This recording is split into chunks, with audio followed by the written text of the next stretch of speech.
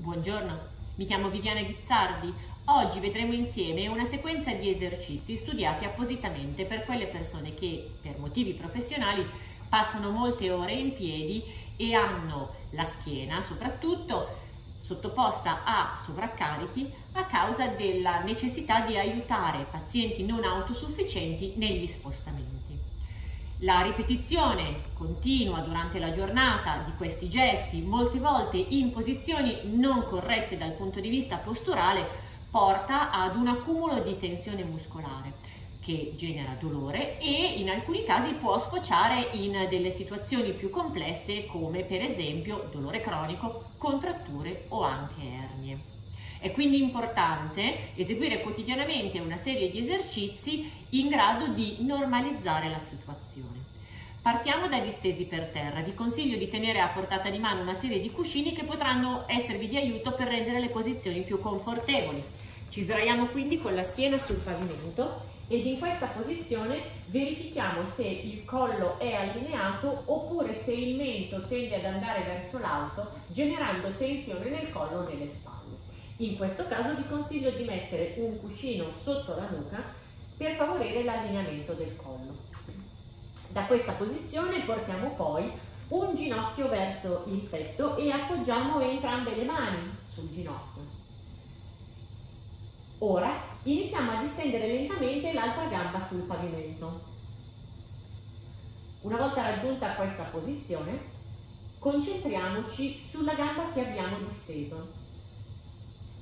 Infatti la gamba raccolta al petto non fa praticamente nulla e sta qui grazie all'appoggio delle mani e al loro peso. La gamba distesa sul pavimento invece inizia a lavorare lentamente cercando di distendersi e allungarsi il più possibile. Per fare questo immaginate di spingere con il tallone lontano da voi e di cercare di ridurre lo spazio che c'è tra la parte posteriore della coscia e del ginocchio e il pavimento.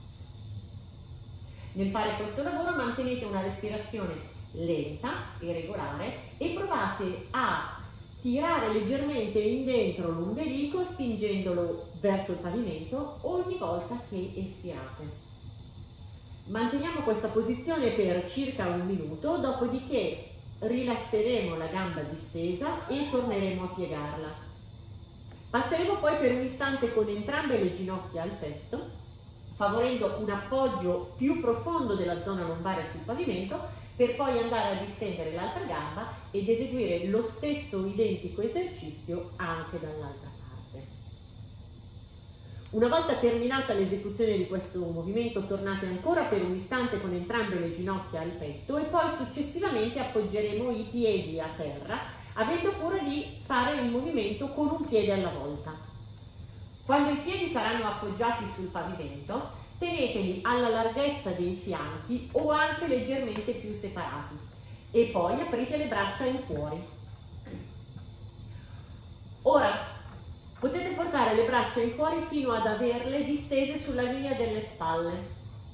Da questa posizione iniziamo a far oscillare leggermente le gambe a destra e a sinistra con un movimento che è lento e morbido. All'inizio questo movimento provocherà semplicemente un alleggerimento del gluteo opposto sul pavimento.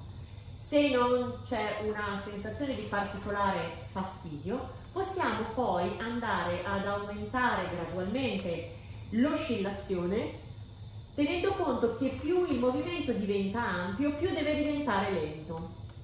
Alla fine, espirando, lasceremo cadere le gambe di lato e ci fermeremo in questa posizione.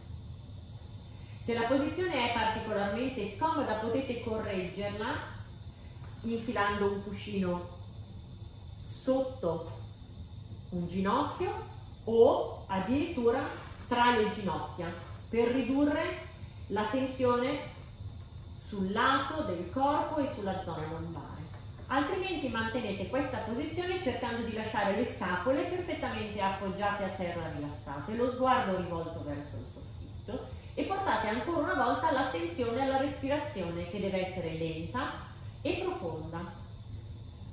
Mantenete questa posizione per un minuto, dopodiché Espirando raddrizzeremo prima una gamba e a seguire anche l'altra. Dopo aver appoggiato bene nuovamente la zona lombare sul pavimento e riaggiustato la posizione dei piedi, eseguiremo poi lo stesso movimento lasciando cadere le ginocchia dall'altra parte. Ancora una volta terminato questo esercizio e ritornati in centro, vi suggerisco poi di passare ancora almeno un minuto con entrambe le ginocchia al petto favorendo l'appoggio della zona lombare sul pavimento. Successivamente ci portiamo nella posizione su quattro appoggi con le mani esattamente alla larghezza delle spalle e le ginocchia alla larghezza dei fianchi e lavoriamo la mobilizzazione della colonna espirando, contraendo leggermente i glutei e tirando in dentro l'ombelico, portando il mento vicino al petto, creando una gobba che verrà mantenuta per tutto il tempo della espirazione. E poi durante la inspirazione riallineeremo la colonna senza sollevare il mento e portare lo sguardo in avanti, ma concentrandoci sull'allungamento. Ancora una volta, quando espiro, poi contrarrò leggermente i glutei, tirerò l'ombelico in dentro per andare a arrotondare la colonna il più possibile. Eseguite almeno una ventina di questi movimenti. Concludiamo poi la sequenza con un esercizio di allungamento e di rilassamento per cui avrete bisogno di una parete. Posizionatevi vicino alla parete, distendetevi sul fianco e successivamente portate le gambe in alto per appoggiare i talloni contro la parete. Da questa posizione potete decidere di tenere le ginocchia leggermente piegate se c'è molta tensione oppure di distendere le gambe per sentire l'allungamento della muscolatura posteriore delle cosce più il sedere sarà vicino alla parete, maggiore sarà l'effetto di allungamento dell'esercizio. Se la posizione della testa dovesse ancora una volta essere scomoda, ricordatevi che potete appoggiare la nuca su un cuscino. Ora, in questa posizione, rilassate le braccia ai lati del corpo, chiudete gli occhi e dedicatevi ancora una volta all'ascolto della respirazione. Qui, più che nelle altre posizioni, ogni volta che espirate cercate di tirare in dentro l'ombelico favorendo così progressivamente un po' alla volta l'appoggio della zona lombare sul pavimento. Mantenete questa posizione per almeno un paio di minuti, dopodiché ripiegate le gambe, ruotate sul fianco, rimanete un istante ruotati sul fianco e poi aiutandovi con le braccia mettetevi lentamente seduti. Dopo quest'ultimo esercizio ricordatevi per favore di non alzarvi in piedi immediatamente perché la posizione e la respirazione lenta e profonda potrebbero far sì che alzandovi sentisse la testa girare. Quindi rimanete seduti alcuni istanti prima di alzarvi. Buon lavoro!